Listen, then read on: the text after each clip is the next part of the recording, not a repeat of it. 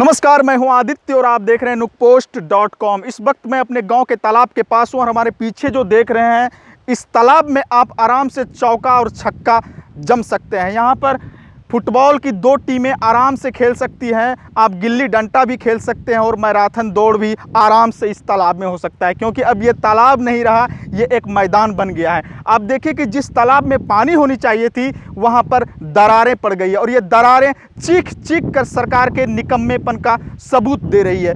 यहाँ पे चारों तरफ़ जो पेड़ दिखाई दे रहा है आपको, इस पेड़ पर बहुत सुंदर सुंदर पक्षी हुआ करते थे, लेकिन वो पक्षी कहीं गुम हो गए हैं या कहीं रूट कर चले गए हैं। आप देखिए तस्वीरों में ये पीपल का पेड़ जो आपको दिख रहा है, पीपल का पेड़ कितना खूबसूरत है।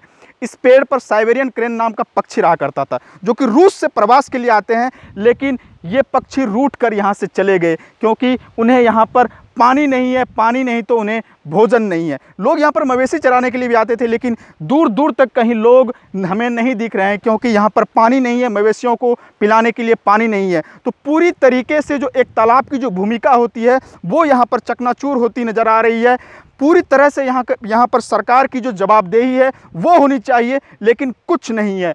एक तालाब मैदान बनकर रह गया है। सूखी दरारें चिक चीख कर सरकार के निकम्मेपन का सबूत दे रही है। आप देखिए कि ये तालाब के जो बाहर का जो रास्ता है वो है यहाँ से लोग अपने बहियार और खेत की तरफ़ जाते हैं। कुछ लड़के हैं हमारे साथ। क्या हो रहा है यहाँ पर? क्या कर रहे हैं आप लोग? यहाँ पर ठंडा हवा चल रहा है। अच्छा ठंडी हवा चल रही है। तो तालाब में पानी नहीं है। तो तालाब में पानी होती तो होते तो फिर कुछ मज़ा और होता। हाँ। और मज़ा आता है। कुछ और मज़ा होता ना? हाँ दूसरा मज़ा आता है। हाँ। पानी तो नहीं है। तालाब में पानी नहीं तो क्या जिम्मेवार कौन है इसके लिए? इसका सरकार। सरकार जिम्मेवार है। हम्म, तो सरकार को क्या करना चाहिए जो इसमें तालाब में पानी हो? इसको थोड़ा गड्ढा कर देते हैं। इसमें पानी रहता तो और कुछ भी मज़ा होता। जैसे कि पशु पक्षी भी पानी प्यास के लिए तड़पता है। अच्छा ये बताइए आप लोग के चापानल में पानी आता है क्या? नहीं आता है। पानी नहीं आता है? नहीं।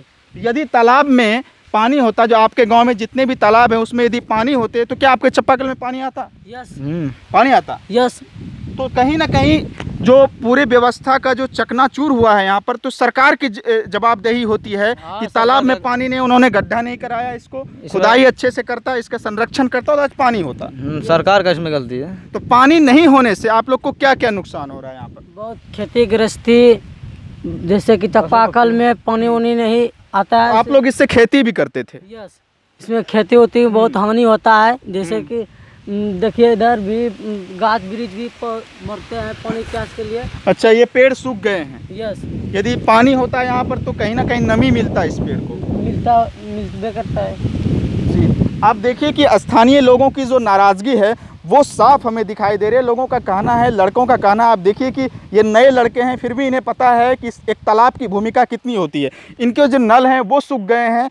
पक्षियों और पशु को पीने के लिए पानी नहीं है और कृषि के लिए पानी नहीं है। तमाम तरह की जो समस्याएँ हैं, वो हमें यहाँ पर दिखाई दे रही है। लेकिन आप देखिए कि ग्रामीण स्तर पर सरकार क्या करती है। सरकार बड़े बड़े शहरों को चमकाने और स्मार्ट सिटी की बात करती है। लेकिन क्या सरकार ने कभी सोचा है कि गाँव को भी स्मार्ट बनाया जाए, जो किसान खून पसीना एक करके, मेहनत करके अनाज उपजाते हैं और बड़े घरों में, बड़े शहरों में लोग खाते हैं, या देश चलता है उसी किसान की बदौलत, क्या उस किसान का पेट भरने के लिए, क्या उस किसान को ज़िंदा रखने के लिए सरकार ने कुछ किया है क्या?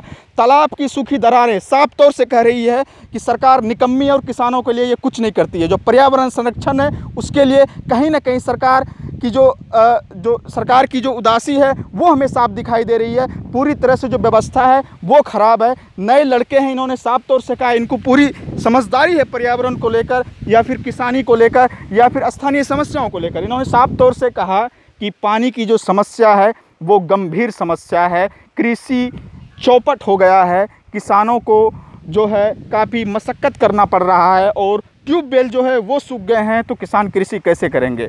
तो इसी तरह गंभीर मुद्दों को लेकर हम आपके साथ लगातार हाजिर होते रहेंगे। आप हमारे इस वीडियो को लाइक कीजिए, शेयर कीजिए और घंटा दबाइए। नमस्कार।